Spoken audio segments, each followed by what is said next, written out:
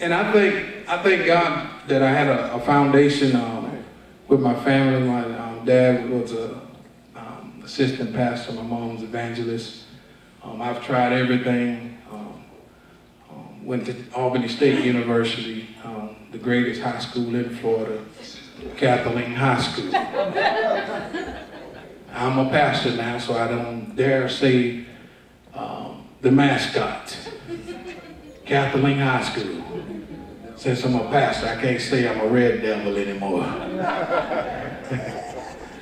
but I went off to Albany State where I um, had all odds stacked against me. Um, I didn't know uh, some things that was, like he said, there's two kinds of people in this world. Um, I didn't know I had issues um, dealing with depression myself.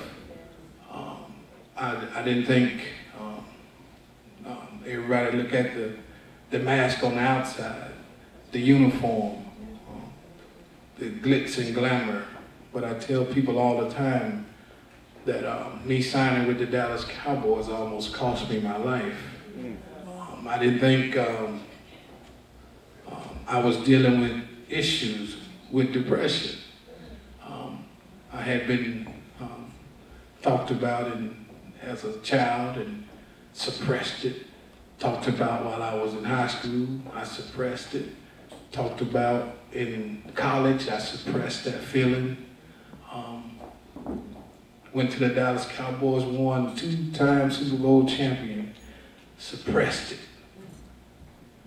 Then I had the opportunity to come back home and play for the Tampa Bay Buccaneers. And while I was here,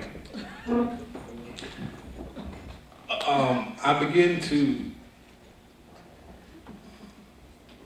I began to know a little bit more what I was going through because I had some positive people around me.